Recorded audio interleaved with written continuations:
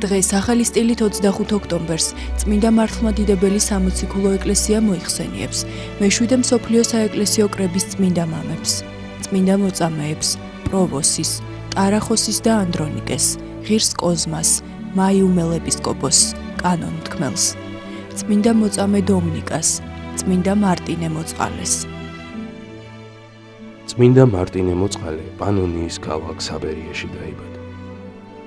ბერა დახვეცამდე იგი მხედართ უფროსად მსახურობდა იმპერატორ იულიანე განდგომილის ლაშქარში. როცა იმპერიას თავს დაესხნენ ბარბაროსები, იგი თავისი რაზმით ქალაქიდან გავიდა მტერთანსავად. გზად გლახაკს გადაეყარა შეებრალო და საკუთარი სამოსელი უბოძა. ღამით მარტინეს უფალი იესო ქრისტე გამოეცხადა და აღუთქვა ღმერთი შეეწეოდა და მტრის დამარცხებას შეძლებდა. ასეც მოხდა. მომხდური სასტიკად დამარცხდა. იმპერატორი ზეიმით და დიდებით შეხვდა გამარჯვებულს და შესთავაზა სამადლობელი მსხვერპლი შეეწირათ კერპებისთვის.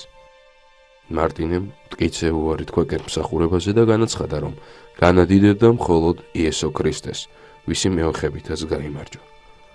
ისიც გაამხილა წმინდანმა, რომ ბერად შედგომა სურდა.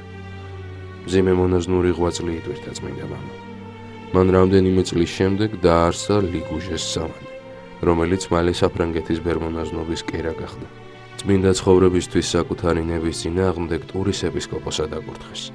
ნეტარი მღვდელმთავარი სიმდაბლით მოთმინებითა და სიმშვიდით გამოირჩეოდა და თავისი ღვთივსათნო ცხოვრებით ყოველს მაგალითს აძლევდა. მან სამოღვაწეოდ ერთი უკაცრიელი ადგილი აირჩიეს, სადაც დაარსა სავანი, შემდგომში სახელგანთქმული მამურტიეს მონასტერი.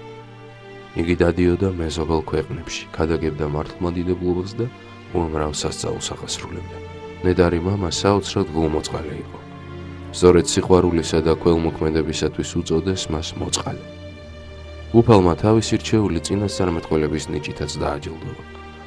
წმინდა მღვდელმთავარი მშვიდობით მეიცვალა 80 წლის ასაკში, დაახლოებით 400 წელს. საკუთარი აღსასრულის დღე მან წინასწარ განჭრიდა. ღირსი მამის წმინდა ნაწილებთან მრავალი სასწაული აღესრულა.